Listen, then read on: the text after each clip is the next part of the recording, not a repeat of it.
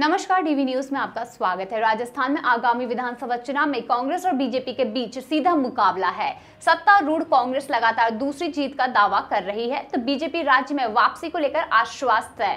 BJP सत्ता में फिर से आने के लिए कई मुद्दों को उठा रही है। इसी में एक है पेपर लीक का मुद्दा। यह ऐसा विषय है जो पूरे प्रदेश में चर्चा का विषय बना हुआ है।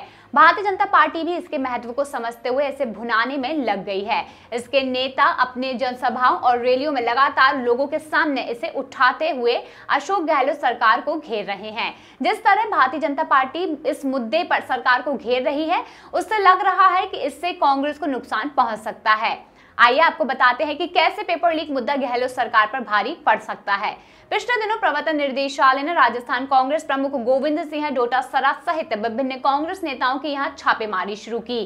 कांग्रेस ने ईडी की कार्रवाई पर सवाल उठाते हुए कहा कि हम इन घोटालों की निंदा करते हैं, लेकिन ईडी की कार्यवाही राजनीति से प्रेरित है।